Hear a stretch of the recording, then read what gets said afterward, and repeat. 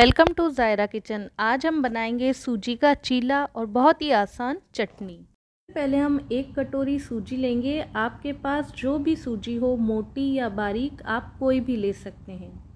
और कटोरी से जस्ट आधा हम इसमें दही डालेंगे। दही और सूजी को हम अच्छे से मिक्स करेंगे। अब हम इसमें थोड़ा थोड़ा करके पानी डालेंगे और एक बैटर तैयार करेंगे। आप इसे बिना दही के भी बना सकते हैं। लेकिन बिना दही के बनाएँगे तो ये हार्ड और ड्राई बनेगा। दही डालने से हमारा चीला एकदम सॉफ्ट बनेगा और उसमें काफ़ी सारा मॉइस्चर भी रहेगा, क्योंकि दही गर्म होकर पानी बनेगा, जिससे कि चीला सॉफ्ट बनेगा। पानी हमको धीरे धीरे करके ही डालना है, एकदम से हमें इसमें काफ़ी सारा पानी नहीं डालना है। अब हम इसमें दो टीस्पून नमक डालेंगे, इसे मिक्स करेंगे और हो सके तो आधे घंटे के लिए और अगर आपको जल्दी हो तो कम से कम पंद्रह मिनट के लिए आप इसे ढककर रख दीजिए, जिससे कि सूजी सारा पानी सोख कर लेगी और फूल जाएगी। अब हम एक बहुत ही आसान सी और टेस्टी चटनी बनाएँगे। उसके लिए मैंने एक कटोरी धनिया और उसकी डंडियों को भी धोकर मिक्सी के जार में डाल दिया है। साथ ही मैं इसमें एक छोटा टुकड़ा ताजे नारियल का डालूँगी। इसके बाद मैं इसमें दो हरी मिर्च डालूँगी। एक इंच अदरक का टुकड़ा डालूँगी, दो टीस्पून मैं इसमें भुनी हुई मूंगफली जिसके छिलके मैंने हटा दिए डालूँगी, एक टीस्पून मैं इसमें करी पत्ता डालूँगी, एक टीस्पून भुने हुए जीरे का पाउडर डालूँगी, दो टीस्पून मैं इसमें नमक डालूँगी। आप चाहे तो काला नमक भी डाल सकते हैं और आप चाहे तो इसमें दही भी डाल सकते हैं। ऊपर से मैं इसमें पानी डालकर इसे अच्छे से पीस लूँगी। हमारी चटनी बनके तैयार है। आज मैं इसमें दही की जगह नींबू डालूँगी। जिससे कि इस चटनी का टेस्ट और बढ़ जाएगा। ये चटनी आप कभी भी खा सकते हैं, व्रत में भी आप ये चटनी खा सकते हैं और किसी भी तरीके के चीले के साथ आप ये चटनी खा सकते हैं। चाहे बेसन का चीला हो, चाहे मूंग दाल का हो, चाहे साबुदाने का हो, ये चटनी सभी के साथ अच्छी लगती है।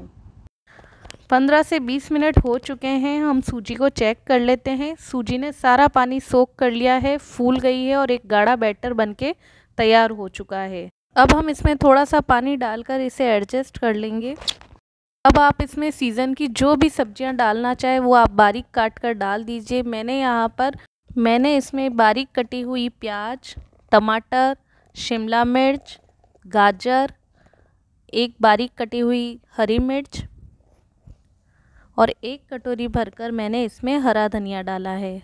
चाहे तो अपनी पसंद से इसमें कॉर्न मटर और और कोई सब्ज़ी भी डाल सकते हैं।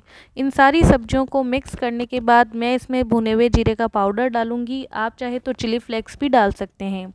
अब मैं इसमें one fourth tea baking soda डालूँगी। आप चाहे तो इनो फ्रूट सॉल्ट भी डाल सकते हैं। बेकिंग सोडा दही से रिएक्ट करेगा, जिससे कि बबल उठेंगे तो हम इसका तुरंत चीला बना लेंगे। पैन तेज गरम होना चाहिए। उसमें एक टीस्पून तेल डालकर मैं टिश्यू से अच्छे से इसे साफ़ कर लूँगी। अब मैं इसमें एक चम्मच भर के बैटर डालूँगी और एक छोटे चम्मच से इसे इस तरीके से फैला लूँगी। आप इस चीले को एकदम पास से देखिए, इसमें किस तरीके से जाली पड़ रही है। इसका मतलब हमारा चीला बहुत ही अच्छा बनके तैयार होगा। अब चाहे तो आप इसे ढककर पका लीजिए और चाहे तो बिना ढककर पका लीजिए।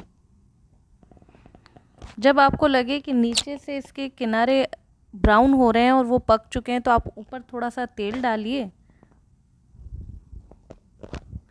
और धीरे से इसे पलट लीजिए। चीलों की साइज़ अगर छोटी होगी तो आप बहुत ही आसानी से ये, आप इसे पलट पाएँगे। देखिए, नीचे से कितना अच्छा चीला बन के तैयार हुआ है।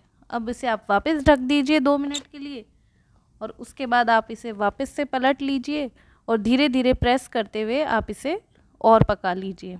हमारे वेजिटेबल सूजी के चीले बन के तैयार है। आप इसे गरम गरम चटनी के साथ सर्व कीजिए। ये खाने में बहुत ही टेस्टी लगते हैं। अगर आपको मेरा वीडियो अच्छा लगा तो लाइक और शेयर करें और मेरे चैनल को सब्सक्राइब करें।